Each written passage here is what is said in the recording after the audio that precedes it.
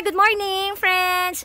So, today is Saturday. So, murag schedule na sad sa ako ang charity. But this time is different because uh, na ako'y kauban nga isa ka grupo nga ngari sa Davao nga nag, nag, naghatag sad sila og kanang happiness sa atong mga elders. So, uh, mauni sila. Ayan. So, it's Mio Matic. Uh, Philippines Elite Group Dav- Davao Chapter. Yes.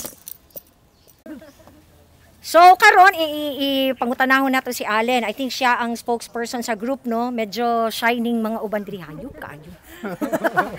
so yeah, meet Allen. So siya ang mo ano actually naa sila purpose of going here no nga kaning ilahang charity. As far as I know dili lang ni Mao ang ilahang mga serbisyo nga ginahatag so dili lang pa cute cute dili lang pa char char effect effect. Ride ride sa motor nga cute cute o ana dili. But naa sila vision nga makatabang sa mga less fortunate brothers and children brothers and sisters nato diri sa most particularly diri sa Davao. So atong pangutanahon karon si Allen. Oh hayop kay si Allen. Hala kinsa gani ning kalok-alike ni Allen gani? Mura na gini kalok-alike si Allen ba? Okay So, uh, bro, unsa man ang inyuhang purpose of coming over, especially karon na napilian ninyo ning kusudyan diri sa buhangin? Yes. Uh, good morning din, no? Uh, pasalamat mi nga naami diri na naguban sa inyo ha, ma'am, para sa charity. Second is, ang among group is actually uh, nationwide. Pangalan na mo is MPEG.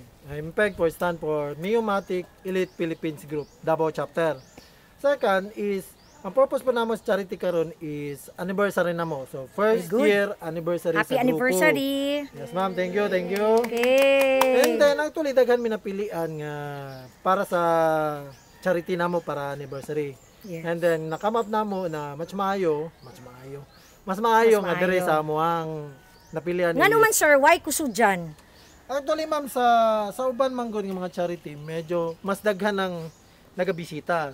Okay. So bihira lang mabalita na to na sa mga lolo lola mobisita. Kurikong.com.ph. So kay tungod layo siya. Ah, I mean dili man siya layo, sudlo nun lang siya. Yeah. Second is ang nakapokus ang kasagaran sa mga cancer, sa mga bata. So medyo ang mga lola Sa lolo SPMC. na to. Yes Oo. po ma'am.